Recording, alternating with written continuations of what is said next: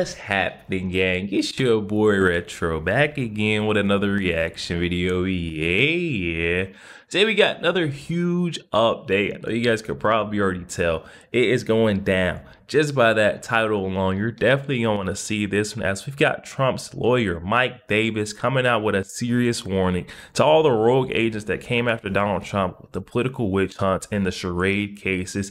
Um, I'm not going to say much on the front end because I don't want to spoil it. All I will say is that all these rogue agents that came after Donald Trump with the legal law lawfare, their days in power is quickly coming to a halt, guys. I'm excited to get in this one, so we're not straight into it. Make sure you guys hit that like button, hit that subscribe subscribe button. Before I even get into it, you guys, hit that like button. Also hit that subscribe button for your boy. And without further ado, let's jump straight into it, folks. Check this one out. They're interfering. They shut down their investigation. They announced they're shutting down their investigation the day after Trump beat Kamala Harris like the drum. You're admitting this was this was election interference.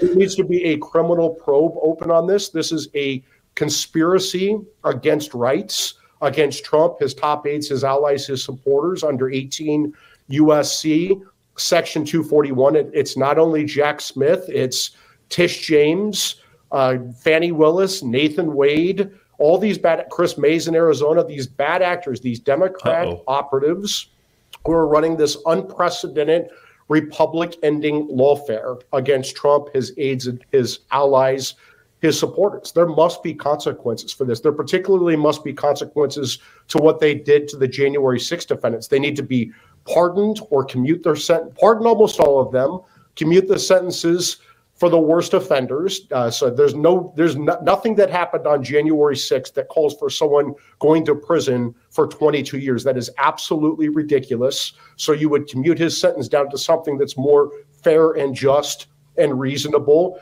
You dismiss all of these charges immediately on January 20th. You shut down these offices. You reassign these prosecutors and these agents to real crimes in DC and, and, and the southern border. And you you restore these people with the, with the, the with the Department of Justice. Uh, there's a there's a fund at the Ju- uh, Department of Justice you can do to compensate these defendants who were persecuted under the Fisheries. And this is outrageous what oh, they interesting. so this fund already a fund already exists if you've been uh, unlawfully persecuted by the federal government to financially compensate. Yes, and it, it, it needs to be more than that. There needs to be bar complaints. There needs to be Justice Department employees and this right here with Mike Davis, the plan or the play that he is laying out is exactly why we're getting, you know, these rogue agents, attorney generals like Letitia James um, up in the state of New York. She's coming out making these cries for help, saying, hey, we're going to fight back against Donald Trump no matter what his administration, because they know it's it's time. You know, it's the time has come where, you know, all the wrongdoing, all the unjust um, case they brought about against Donald Trump, they have to pay back for it. Um, and I think it should be, you know, not only coming out of their pocket, but also maybe some time served because that just cannot happen.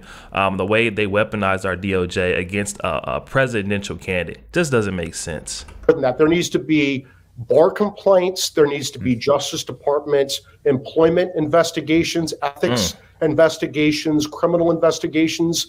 We need to send a very strong message this exactly. can never happen again. You can never politicize and weaponize our intel agencies and law enforcement for the sole purpose of going after your political enemy. And that's what happened here. That's unacceptable. And that's why I'm outraged, right? And, you know, people, I, I always joke that I'm going to be the acting attorney general or I'm going to be the vice. I'm not going to do any of those jobs. I'm going to be a very strong supporter of President Trump through the Article 3 project, like I have been for the last five years. But I'm going to push very hard for severe legal, political, and financial consequences to these partisan assholes who did this to Trump, his aides, his allies, his supporters. I mean, we've seen this in the first term. How does Trump break through the amount of lawfare, the amount of scream, you know, demonic screaming from the left, um, kind of in, in, a in a way, in, in in the way that uses executive power constitutionally to say this is what's right for the country? I, I think President Trump would say this. Uh, uh, even President Trump would say this. I think he learned his lesson from the first term, and mm. that is personnel is key, right? And it is so critically important that you put good people in the right post, like Mark Paoletta as Attorney General, so you don't mm. have to deal with this nonsense, right? Mm. You don't have to deal with this politicized and weaponized justice system. President Trump and his legal team now, uh, led by John Sauer, who should be the Solicitor General hmm. of the United States, has got a mon- they've gotten monumental wins at the Supreme Court, including on presidential immunity. Uh, let me just say this to Big Tish James, the New York Attorney General. I, I dare you, I dare Uh-oh. you to try to continue your lawfare against President Trump in his second term. Because listen here, sweetheart, we're not messing around this time, and we will put your ass in prison for conspiracy against rights. And I no, he did get her, yo. Mike Davis is not what he said the second time around. We are not messing around. You better watch your back. I mean, and, and rightfully so. The message she had right after, directly after Donald Trump was elected, she went on uh on on live and did a public service announcement, almost threatening Donald Trump's administration, daring them to come after her for all of her wrongdoings. And he's like, "I dare you to keep this charade up. See what happens. See where where, where it lands you. I mean, come on." Oh my goodness. In his second term, because listen here, sweetheart, we're not messing around this time, and we will put your ass in prison for conspiracy against rights, and I promise you that. So think long and hard before you want to violate President Trump's constitutional rights or any other American's constitutional rights. We uh, it's not going to happen again. We've been warning people on the show, Mike. This isn't the same Trump administration. Stop messing around. Don't rig elections. Don't illegally vote. Don't try know, the funny business because we know the team this time and they are not effing around. And so we've done we've done our best to warn. Just to, maybe just really quickly here, uh, Fani Willis. That seems to be one of the one of the last prosecutions against Donald Trump that hasn't been completely thrown in the garbage just yet. Maybe a message to Fani Willis. Yeah, big Fani, another one. Where, where do they find these people? It's just like at Weight Watchers. Where do they where do they find these these slobs to be prosecutors against Trump? I would say to, to Big Fani Willis and Nathan Wade, uh, it's very clear that the Georgia Court of Appeals is going to disqualify their entire office because Big Fani hired her dumb, unqualified boyfriend, Nathan Wade, paid him $700,000, $250 an hour. And then Big Fani took illegal kickbacks from Nathan Wade in the form of lavish trips around the world, Napa, the Caribbean, Belize. I'm a Grey Goose girl. I mean, where do they find these dumb flops, right? And then she got up and lied about it in court, right?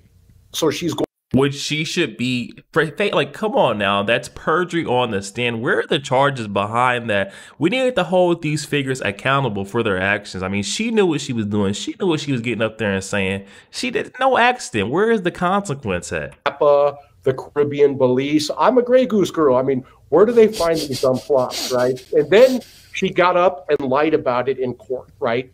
So she's going to get disqualified from this case. This case will go to another uh, district attorney in Georgia, and no one in their right mind would bring this case again because it's not a crime to object to a presidential election. It's allowed by the Electoral Count Act of 1887. It's allowed by the First Amendment.